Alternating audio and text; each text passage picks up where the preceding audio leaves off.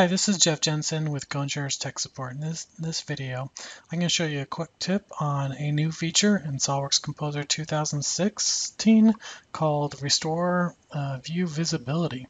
So you'll find this on the Home ribbon tab in the Visibility menu, uh, Restore Active View visibility and this is a new tool uh, or feature available when editing a view uh, if you basically change the visibility of actors you can quickly restore the visibility uh, that's been assigned with that view.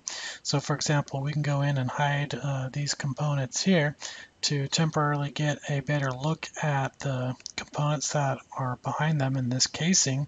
And you can quickly restore that by going to Restore Active View Visibility from the Visibility uh, menu. Uh, this also works when adding new actors making uh, collaboration actors visible. You might temporarily do that, uh, hide some some other actors again, and you can also access it from the visibility drop-down menu in the shortcut menu here that will restore the visibility of the components that were last saved with that view. Uh, this doesn't change settings uh, made to like position, opacity, uh, stuff like that. So we could actually go in, make this a little bit transparent. Um, we could even move this file out a little bit.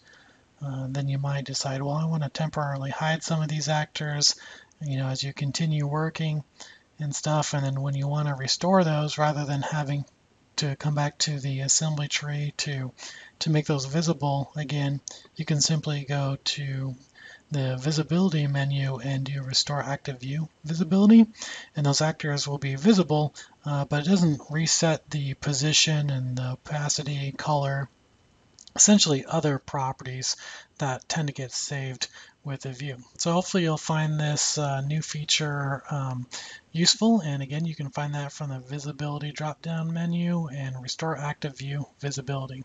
This is Jeff Jensen with GoEngineer Tech Support, and thanks for watching.